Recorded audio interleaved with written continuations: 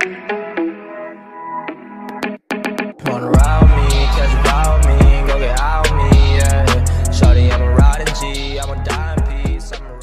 we're going to be looking at the Maono Professional Condenser USB Microphone Set. Now this is the AU PM421 version. It's the Professional Audio Innovation Series. And right here, as you can see, it comes with a nice microphone stand that hooks up to your desk along with a desk kind of stabilizer so you don't get any noise when it shakes, and a pop filter that is also extendable as well. Let's go ahead and turn this around and take a look at the back. If we look right here, it says that its polar pattern is cardioid. It has a frequency response of 20 to 20,000 hertz. It says it is its sensitivity is minus 47 decibels to 29 decibels plus 3 dB, which I think is 3 decibels. Its bit depth is 24 bit. Sample rate is up to 192 kilohertz. Power requirements is only a USB 5 volt. And then it says SN ratio is 74 dB. And then maximum SPL is 125 dB. And then there's a microphone gain that's a knob, LED indicator, and a USB cable. And then it shows what I mentioned on the front. So it also shows a bunch of features down here as well. But let's go ahead and open the microphone. Let's not spoil everything on the box. Before we do that, this is what the uh, side looks like as well. And the box feels really premium too. So without further ado, let's go ahead and open this up and see what it's all about. This time I'm using my ultra wide angle because this box is really big. So I want to be able to get all of this on uh, camera. So let's move this back. We tilt it forward right here. We get a little card basically saying, Are you happy with the product?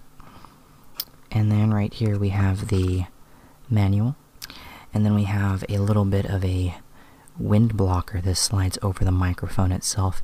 This is kind of the same thing as this a little bit for the puzz and the S's and stuff. But also if it's really windy outside too, if you wanted to use this outside. And then right here we have the pop filter. This is to remove even better all of those P's and S's and like kind of noises. That's probably what I'm going to be using for uh, my microphone setup because I actually don't have one of those. And if we remove this right here, move that out of the way. Here's the stabilizer. It has like all these shoestringy kind of elastic pieces to kind of help balance it out. It's not really attached to anything besides these, as you can see, because it kind of, uh, the elastic helps absorb the vibration if you hit your desk or, you know, something rumbles. Then right here,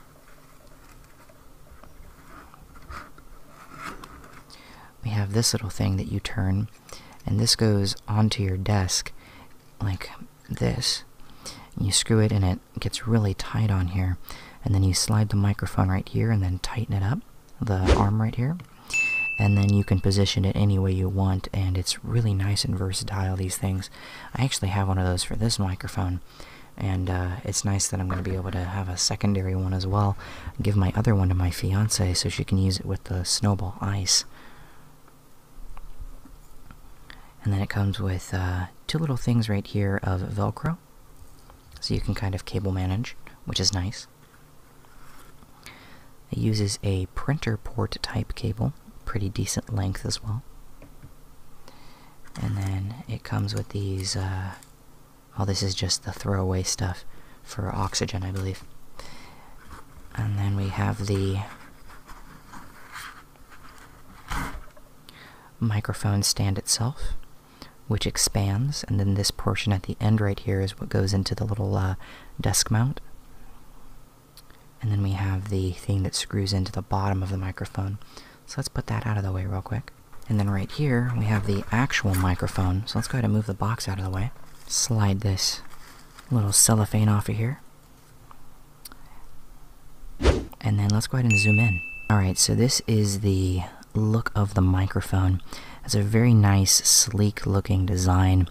And if you notice on the front right here, it actually has a touchscreen mute button. So if you want to mute yourself, if you're on like Discord or maybe on stream you just tap that real quick and it will turn itself off. It also has an adjustable gain right here as well.